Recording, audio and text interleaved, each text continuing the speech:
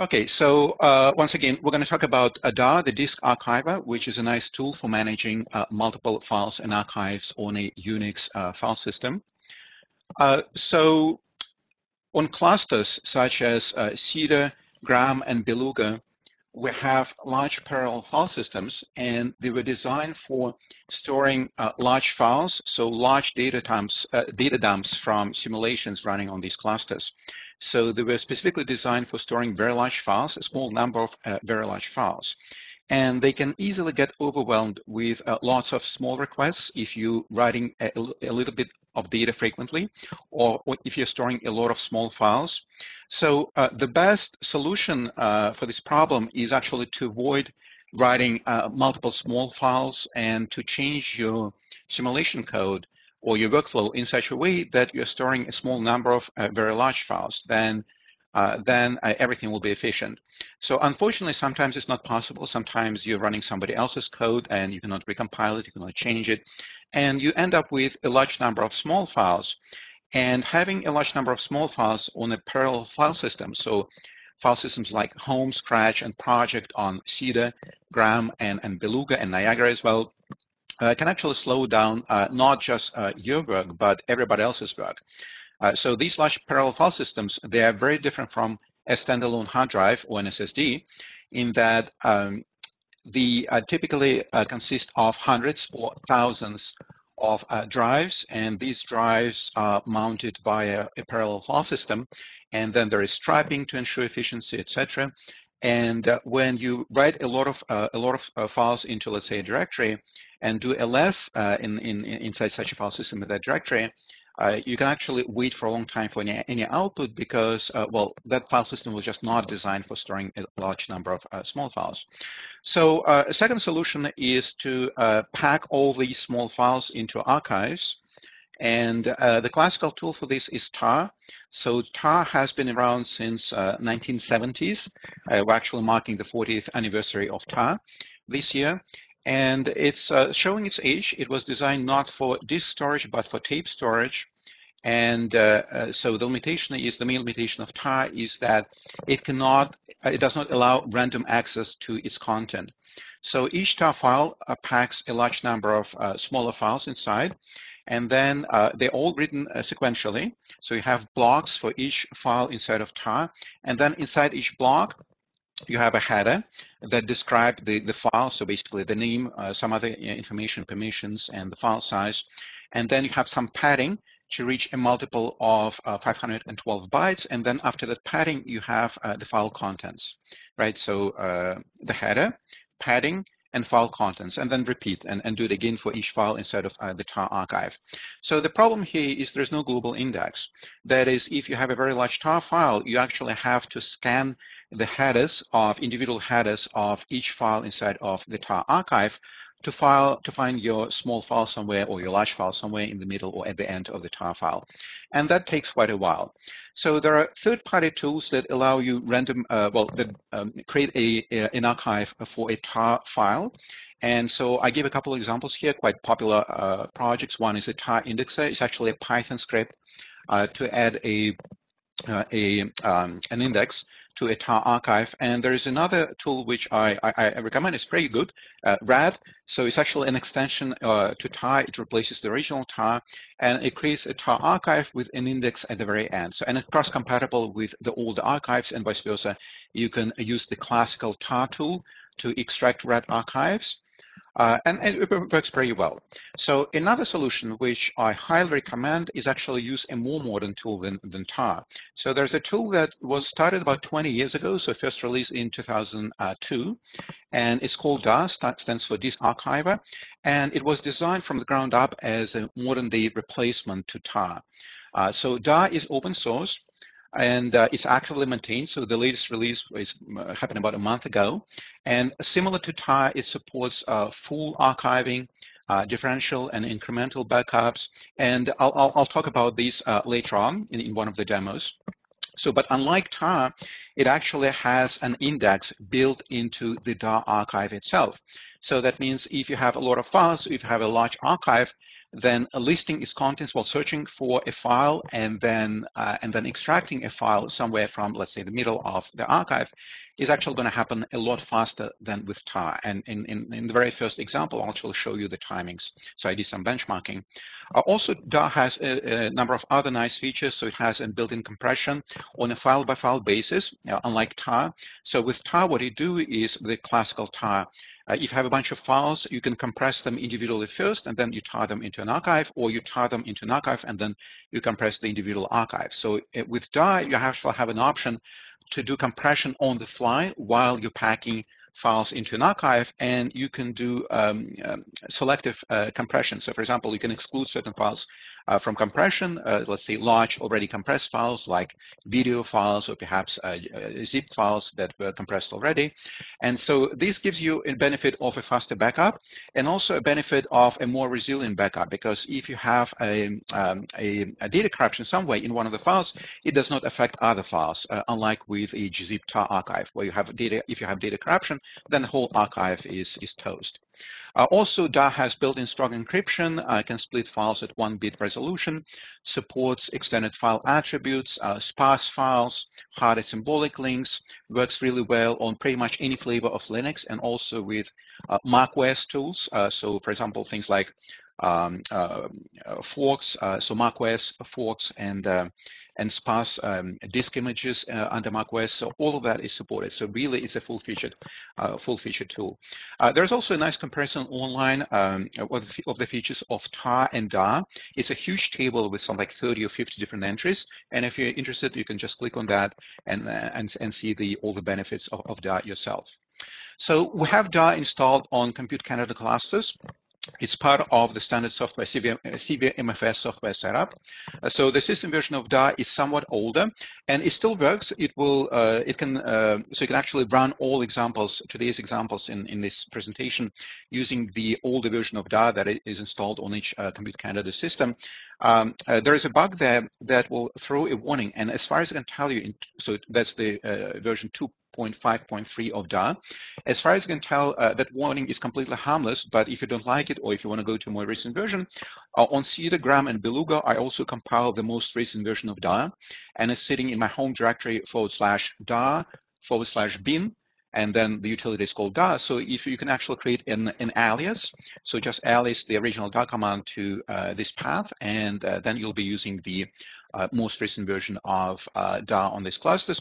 And you can actually compile it from, from source as well. So all you need to do, so here's I'm showing the slide how you can compile DAR from source, just download the uh, latest release, unpack it, so untie it, uh, CD in there, and then configure it. So basically specify the prefix where you want to install it. So in this case, it's going to be installed into a DAR subdirectory in, in your home directory on, on the cluster. And then disable shared libraries. So I do this uh, just to make sure that you don't have to modify your uh, library path when you want to run DAR. Then you compile it, install it, and it's going to be sitting inside. So utility DAR is going to be sitting inside directory uh, DAR forward slash bin in your home folder. And then all the examples I'm going to show you today are going to work just fine with this version as well. So this slide, this is not an actual demo. The demo start in the next slide. But here I'm showing uh, the seeking time. So uh, just the benefits of uh, DAR, comparison of DAR and TAR, so some benchmarking. Uh, so here what I did um, on a laptop, so don't do this on a cluster because the whole idea is of this presentation is uh, you should uh, not you should not have a lot of small files on a cluster. But in this case, I'm doing this on a standalone external hard drive on a laptop. And uh, the reason I want to do it on an external hard drive as opposed to a built-in SSD is because I want to show you the benefits of DAR. So these benefits will be multiplied by the, the fact that I have a very slow external storage. So what I'm doing here is, I, oops, sorry, what I'm doing here is I went and created a temporary test directory, and into this directory, I wrote a thousand files. So the variable uh, random in Unix gives you a random number between 0 and 32,000. And then I simply use the dd utility uh, to pick up uh, entirely random bits in block sizes of uh, one kilobyte and then um, uh, multiply them by some number. So essentially, I'm creating here a thousand completely random files, and each file size is going to vary from be, be random from anywhere from one megabyte to 33 megabytes. So I create these uh, these thousand random files. So each file is going to be called test and then uh, three digits, so from 000 to 999, and then the total uh, size of the directory is 17 gigabytes. Because uh, these are random files, uh, they cannot really be compressed very efficiently. Uh, but that's besides the point. So, and then here I'm uh, just timing the two commands. So creating archives, of course, is going to be the same, roughly the same timing for both uh, tar and dar. So it took somewhere in the neighborhood of six minutes to create both a tar archive and a dar archive. So the tar archive is called all.tar, and the DAR archive is called all.1.dar. Uh, so I'll, I'll, go through the options and why why these file names in the next slide. So here I'm just showing the uh, the, the, timings of for extraction, and then I take the 17 gigabyte tar archive and a 17 gigabyte DAR archive, and I extract a file somewhere in the middle. So there are not, uh, there are a thousand files, and so I'm just pick randomly a file, let's say test 596, and then I extract it. And uh, then, uh, so before every time before I extract these files with both tar and DAR, I make sure to clear the cache. So what I do, I unmount the hard drive, and then I uh, mount it again. I uh, delete the uh, the uh, the uh, test file, so the file that I'm extracting from uh, the file system. So I'm starting from scratch from the archive itself, and then so making sure that I don't have any any any, any buffered output. And then I time the tar command and the dar command. And as you can see, the timings are very consistent. So for a 17 gigabytes file, extracting a, a file somewhere from the middle takes roughly 7.8 seconds, so 7.8 seconds with tar, and then roughly 0.6 seconds, so less than a second more than 10 times faster with DAR. So with DAR, what happens is it immediately, when you uh, request for uh, request a file, it immediately goes to the index that is stored at the very end of the uh, DAR file. And then it knows at which byte offset uh, to read that file. So extracting actually takes very little time. Whereas with tar, what it does, so it does not scan the entire file. It starts scanning the tar file, and then it reads the first header. then it knows that, okay, so this file, the very first in, uh, file in my tar archive takes so many bytes. I have to, uh, to, uh, to jump ahead with this offset to the next header and then the next header and so on. So it has to read all headers until it encounters the file test 596, and that takes nearly eight seconds for a 17 gigabyte tar file. So in this case, you can see there, there are clearly benefits for, for using DAR as opposed to tar. So now I'm going to run a bunch of demos. So all demos in my presentation are divided into two categories. The first ones are manual demos. So in manual demos, I'll just run the command DAR manually. And then uh, the function demos, I'll run some functions where you actually don't have to memorize all these flags and all these commands. But I'll start with the manual demos because it will give you the, uh, the full picture. So here what I did, I also created a uh, temporary directory. So inside NTMP directory, so I'm going to show all demos on my laptop, but exactly the same demos work on uh, on any Compute Canada clusters, uh, cluster as well, using either the system version of DAR, the older version, or the newer version that I mentioned that I compiled in my in my home directory. So in this case, I'm creating a sli slightly, uh, slightly smaller um, test directory. So into the test directory, I'm also placing a thousand files called test, then three digits from 000 to 999. And then I'm using a smaller scaling factor, so uh, uh, sorry, uh, so smaller scaling factor and a smaller um, um, block size. So I'm writing in random numbers in blocks of eight bits. And so this results in a thousand files, and these files vary in size from eight kilobytes to uh, a quarter of a megabyte. So the total uh, uh, storage, well, the, the, total amount of space taken by all these files inside the test directory is 134 megabytes. And so here I can show you, uh, this is my directory. 134 megabytes. These are the test files.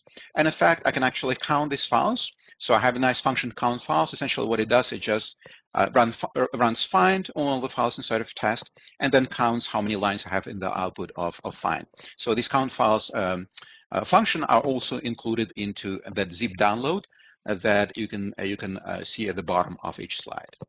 So here it says test has a thousand files. The total uh, size uh, is 134 megabytes of all files combined. So let's just create a basic tar archive. So I'm going to uh, type these commands from the slides. I'm going to see uh, dar minus w.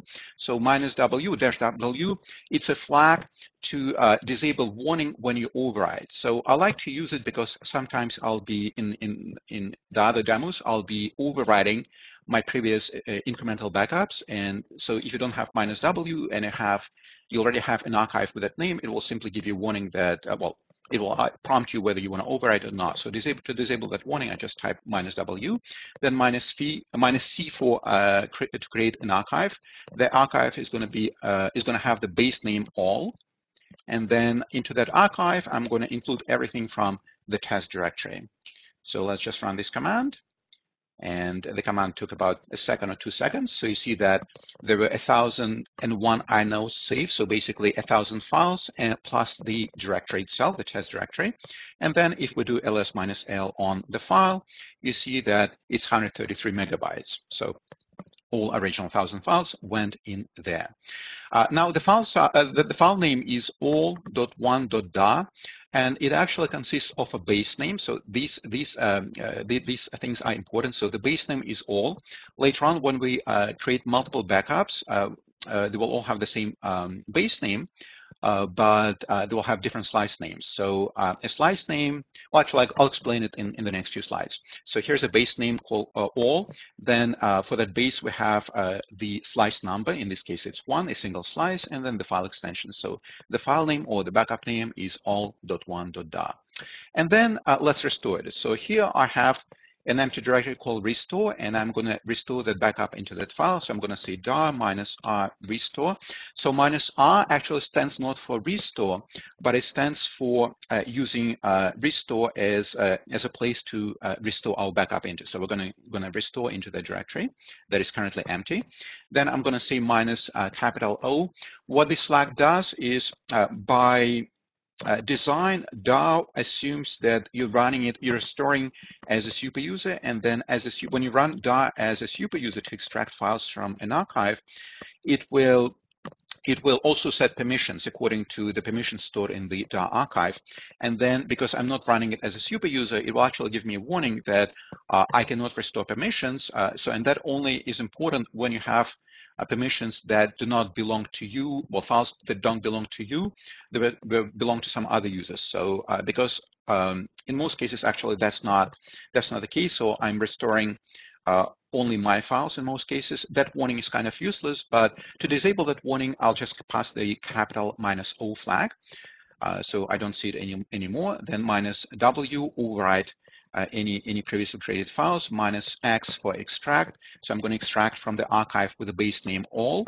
And then I'm going to specify which file I want to extract. So I'm going to say it's test, uh, test 596, for example. Okay. And here we go.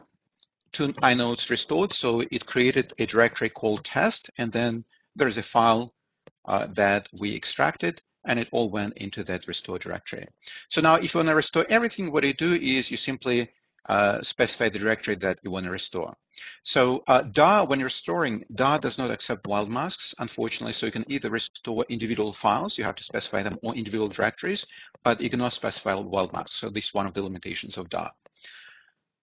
Okay, so in this case, we're actually restoring all 1,000 files. You see 1,001 inodes restored, and then if we go into restore test, you'll see there are 1,000 files in there.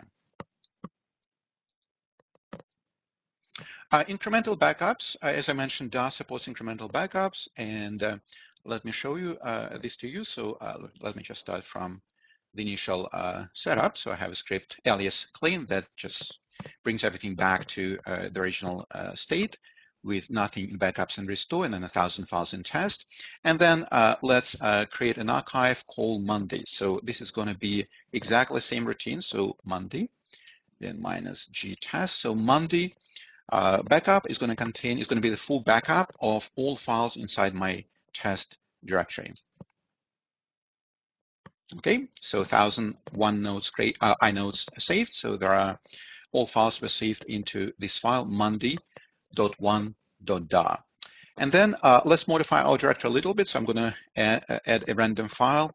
Uh, so actually, instead of typing that command, I'll just uh, add an empty file. So let's say now on Tuesday, we are adding a new file into, into test. That is uh, just going to be an empty file in this case. So now there is a new file that we added. And now let's create an incremental backup. So an incremental backup is a backup where you don't do the full backup, uh, we already did the full backup on Monday.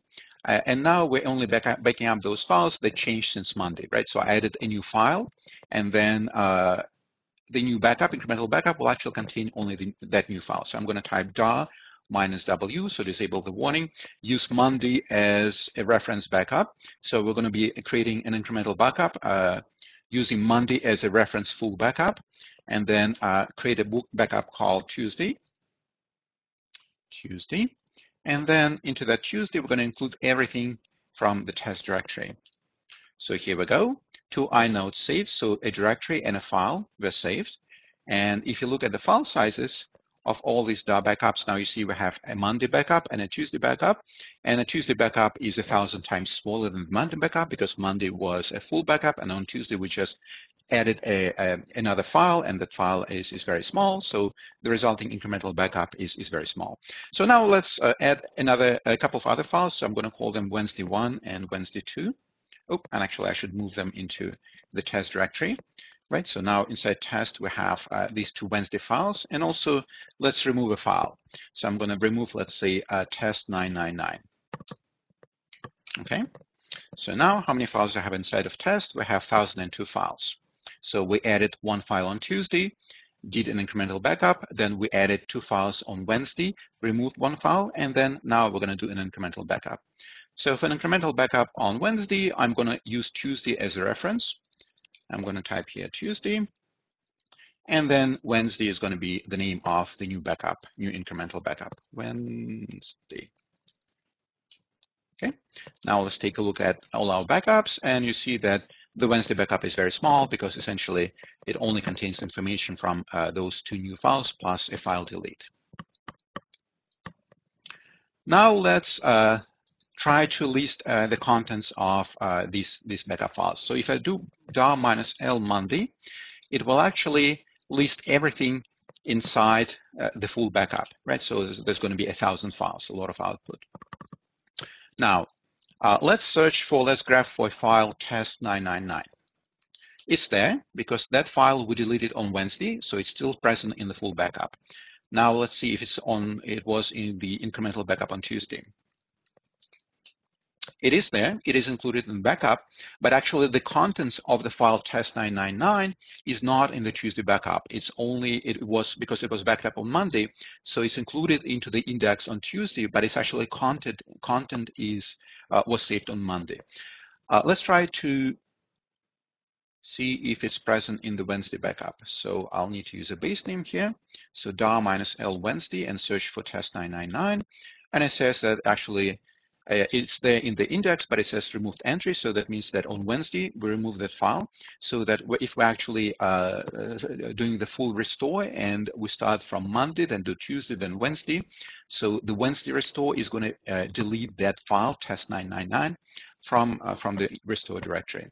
So let's try to do uh, some restoring. So let's see, yeah, the restore directory is currently empty.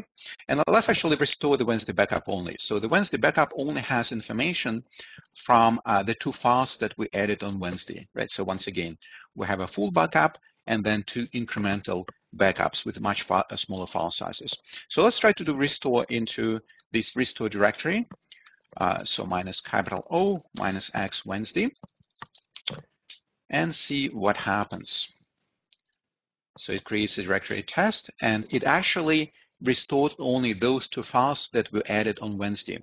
So the reason why it did not restore anything else, because the Wednesday backup only has file contents of those two new files that were added on that day. So the stuff that I had on Monday and the stuff that I added on Tuesday is not part of that incremental backup. And that makes sense because incremental backup is much, much smaller than the full backup. So if we really want to restore everything, we need actually to go in, in sequence. So we have to restore everything from the Monday backup, then from Tuesday backup, and then from Wednesday backup. So we actually have to run the commands exactly as shown on the slide. So I have to do Monday re restore. So I'm also going to do minus W so that it doesn't warn me that uh, test uh, directory was restored already. So this is full restore from Monday. Then we go we do full restore from from Tuesday and then full restore from, from Wednesday. And then now in the restore directory, we have uh, 1,002 files. So let's count that. Uh, so in the restore directory, we have 1,002 files. And in the original directory, we have 1,002 files as well. So as you see, the restore actually uh, recreated my, my directory as of the Wednesday backup. So of course, if you want to restore the full backup, you just run the first command for the Monday full backup. Now, uh, there are lots and lots of options in DAR, so I'm not going to talk about most of them, but a few useful uh, uh, workflows I'm going to mention. So let's say if you have a, destination uh, file system that is small and you cannot, maybe you're writing to, I don't know, CD drives, well, CD-ROMs, probably nobody is writing CD-ROMs any longer, but maybe writing to a flash drive or to install a hard drive, and it's small, so you want to uh, limit the size of each backup. And in that case, you can simply specify the minus S, the maximum size of a slice that you want to write into. So each slice is going to be a separate file, and then you'll have multiple separate files, and that's where your backup will be sitting. So let's back up into, that actually lets me uh, clean again everything. So we're starting with uh, nothing in backups and restore and a 1,000 files in the original test directory. And then uh, let's limit the file size to 10 uh, megabytes. So uh, create a backup called Monday, and then we're backing up everything from the test directory. So in this case, the full test directory, a 1,000 files was backed up to a bunch of uh, files. And because uh, the full backup is roughly 133, 134 megabytes, and we limited the slice size to 10 megabytes, we ended up with uh, 14 individual files where the slice number reflects the uh, file, um, uh, well, the, the, uh, the is the slice number, so the, the, file number. And then if we want to restore everything, all we need to do is type dar minus o minus x base name so you don't go through individual uh, slices and then it'll restore everything into so uh, yes override it. And then as you see it, it warns me because I already had some files inside of actually no I don't have restore so oh because it's dealing with multiple files so I think what I need to do is c minus w and then it's not gonna gonna ask me for confirmation and then we restored all thousand files into oh actually sorry I'm restoring it. Yeah, the reason why I was complaining is because I what I really want to do is restore into restore directory into this guy. Okay? And then we have a thousand files that were restored back into the restore directory. So let's say, do we have all the files in test? Yes, we do. Okay. Uh, if you want to limit the number of files as opposed to the size of each slice, uh, in, in DAR there's no such uh, flag, but what you can do, you can actually write your own script, and I already wrote a script called multi-dar. Actually, I wrote it probably about 10 years ago, and uh, uh, that script is actually inside a file called darfunctions.sh, so that uh, zip download that I mentioned at the beginning, it contains the slides and also these dar functions.sh, so you can actually download to your own machine or to your uh, home folder on a cluster. And let me open that file with all the functions. So as you can see here, I have the count files function to which you can pass any number of, um, of directories in which you want to count files. And also here I have a multi-dar function that does all, all the tricks. So how do you use it? Well, very easy. Uh, well, first of all, I'm going to source uh, the the DAR, uh, the, the, file with all the functions. So that file on my machine is sitting inside documents, uh, sync HPC, DAR functions folder. So now that multi-DAR is, is, um, is initialized, the function is initialized, and now I can use it. So what I'm going to type is multi-DAR, and you see it shows you, because we have not provided any flags, it gives you the uh, usage, the syntax that you should be using. So multi-dar requires two arguments. One is the source directory that you're gonna you're gonna, gonna be archiving, and the other one is maximum number of files per. Actually, it's not per archive per slice. I should change that. So it's gonna create. Actually, no, sorry, per archive. Yes, correct. Maximum number of files per archive. So we have a thousand files inside of test, and uh, let's just uh, limit uh, the number of files to archive to, let's say, 300. So I'm going to say uh, multi-dar compress the, everything in the test directory and with a maximum of 300 files to archive. And what it does, it creates four archives, so 1,000 files, maximum of 300 files per archive. So we end up with um, three large archives and one smaller one uh, that contains our that contain our original thousand files. So to extract them, you actually have to go through them individually. Or what you have to do is type dar minus r. Uh, we're storing into the restore directory minus o minus uh, w minus x, and then on the first file, test dash dash dash AAA, and then restore this guy, then restore the second guy, and so on. So uh, I restored only two files, uh, sorry, two archives, and that gives me six, 600 files. Then you have 900 and 1,000 files. And of course, if you want to automate that, you can simply use the standard bash for loop. And so in this case, I'm going through all test-AE files, and then uh, the last letter runs from A to D, and then just restoring the full backup. So this is just to show you how you can limit the number of files per each DAR archive. Okay, uh, the most useful, in my opinion, function is the backup function uh, that I have in this uh, in the same file right here. And it's a more complex function, so let's just uh, take a couple of minutes and, and see what it does, and then we'll uh, we'll try to run it. so backup is, is doing a backup.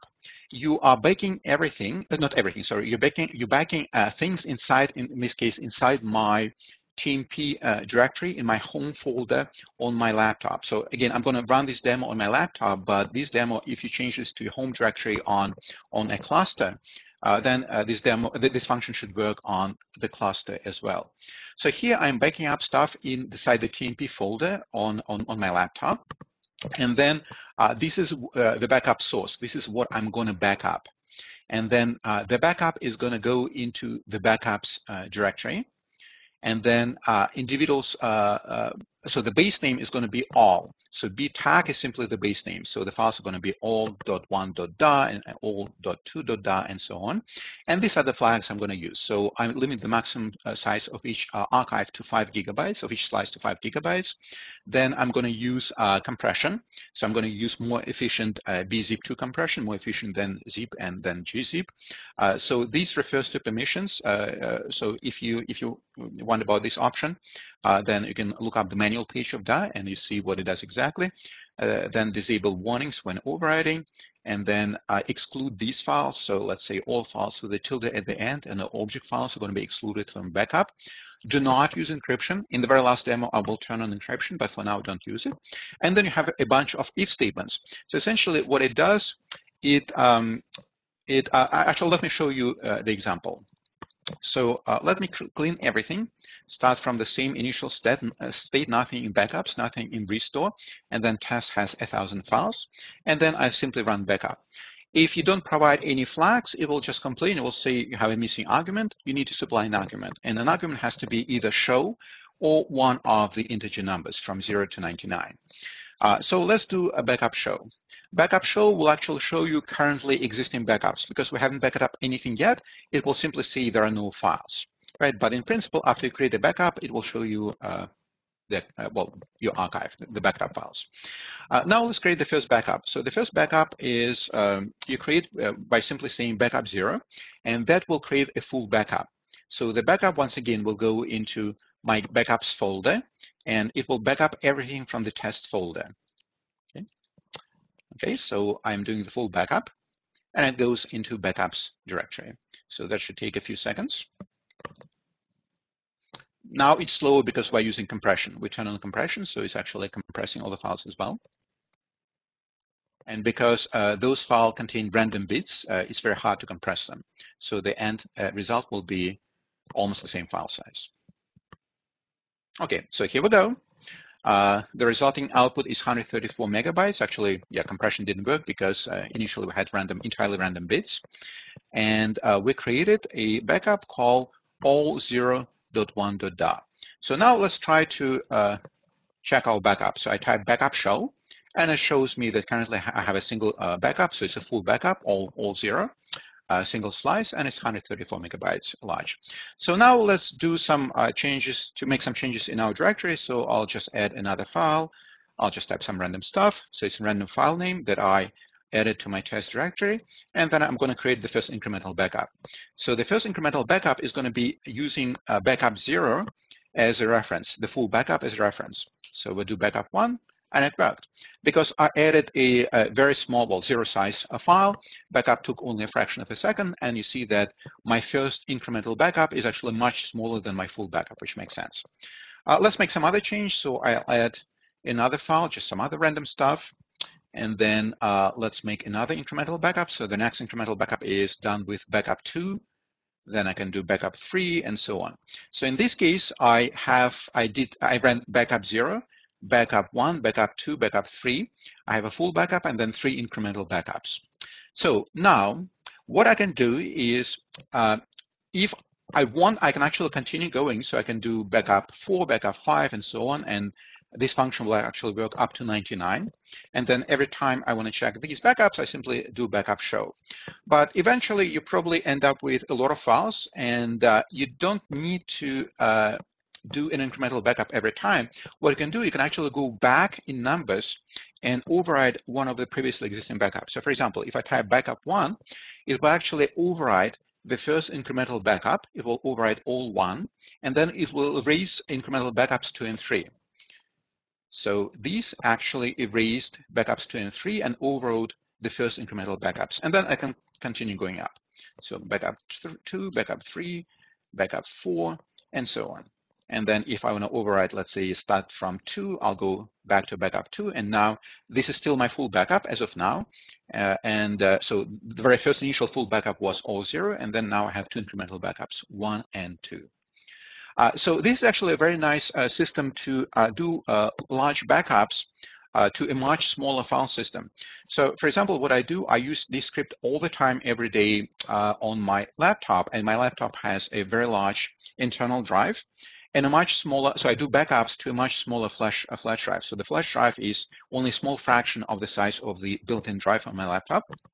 Uh, so the flash drive is only 32 gigabytes in size.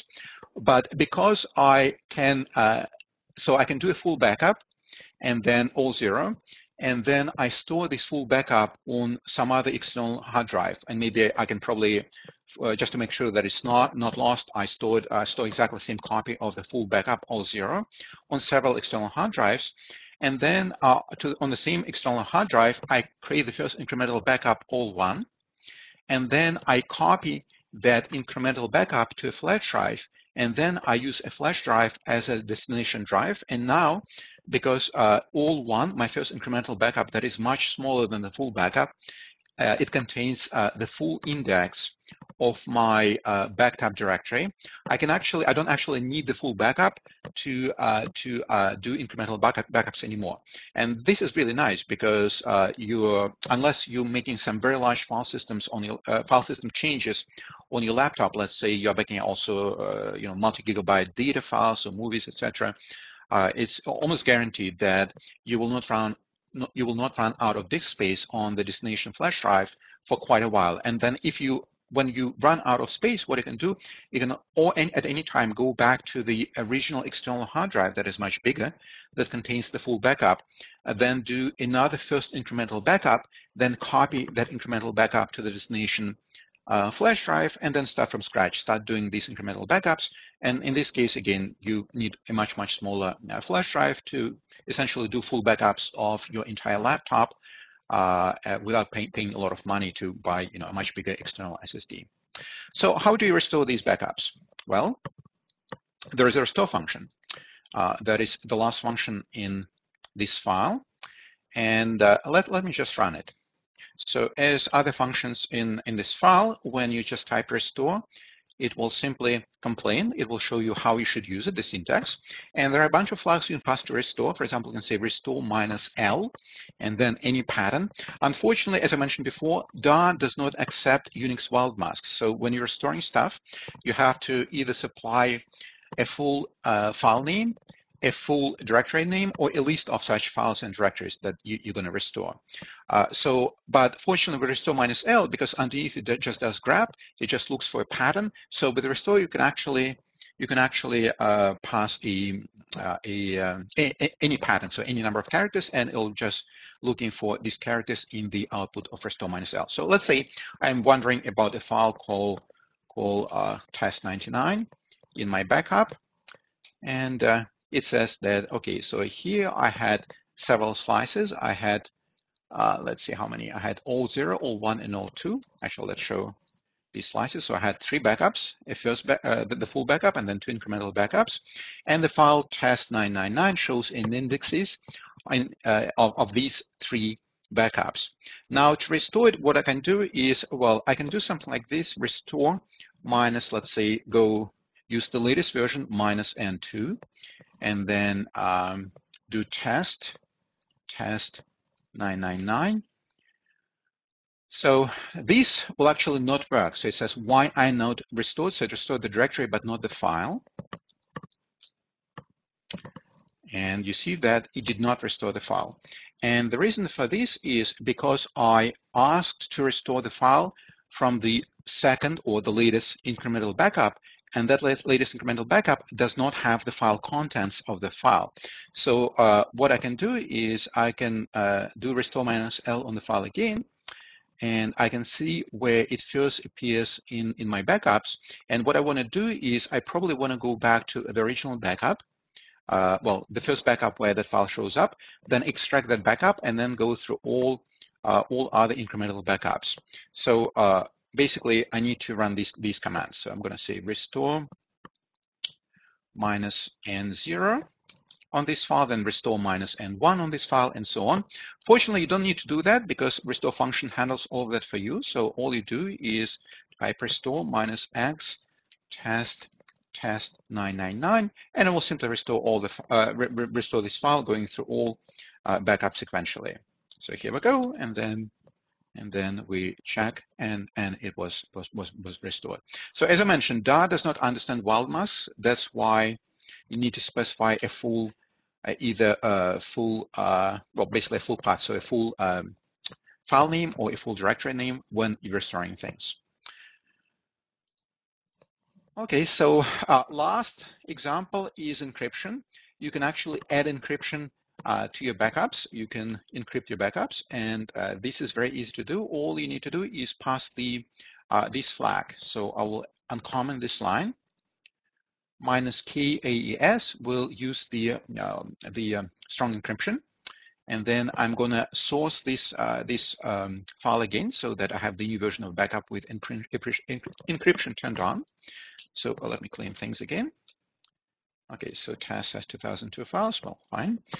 And then I'm going to source uh, the DAR functions uh, script. So now I have the backup function with encryption turned on. And then I simply say backup. Uh, let's start from the zeroth backup, backup zero zero. And now it asks for a password. So I'll supply some password. I'll need to confirm it. And then it's actually creating a full backup now. And um, it's uh, compressing it and also encrypting it.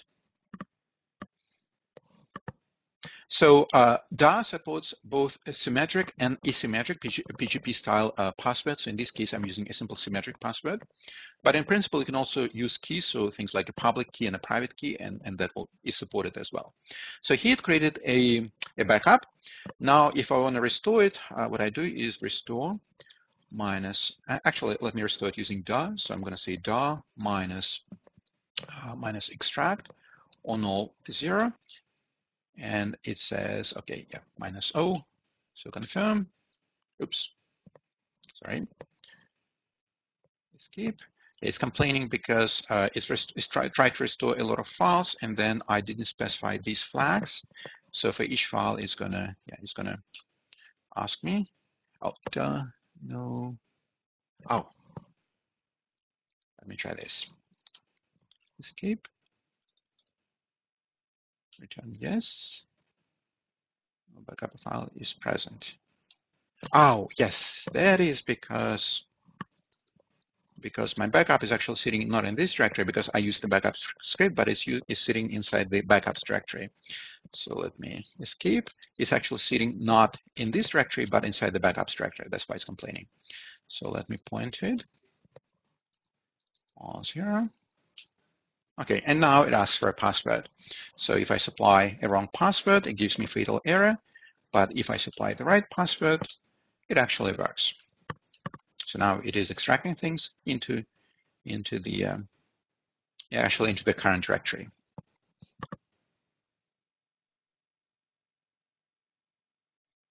Okay, done. And here's my, so if I go into, actually it restored into the same directory, but it worked. Right? So the point here is that you can use encryption. Unfortunately, uh, when you have multiple uh, archives, so for example, you're doing a full backup and then the first backup, each one of them will use a, a separate password. And uh, then you'll have to type a password multiple times. So because let's say you created a full backup that was encrypted, so when you were doing this, you type the password uh, twice, so to well, the password itself and confirmation.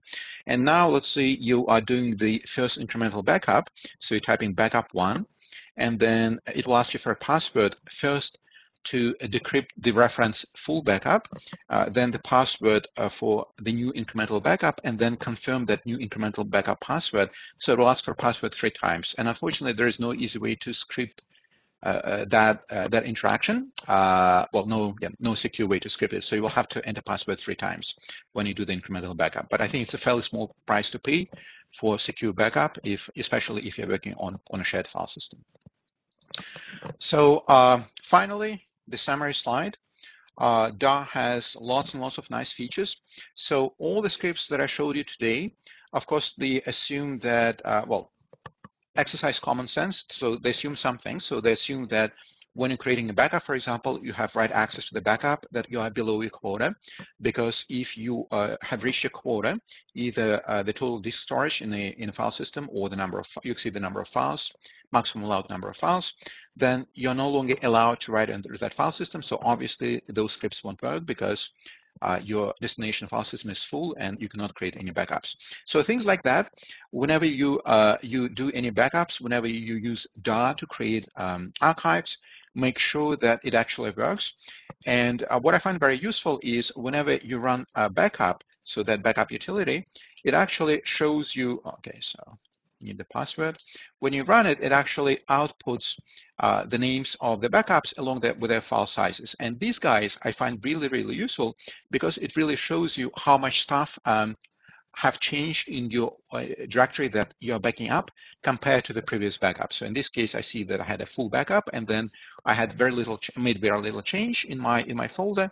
So the backup size is very small. So the opposite, if the opposite is true, you are adding a lot of files, uh, then your incremental backup should be should be large. So things like that, please always pay attention to them. Please always make sure that you uh, you actually write into into into the archive that your your backup is valid uh, before deleting the original files that you're trying to backup.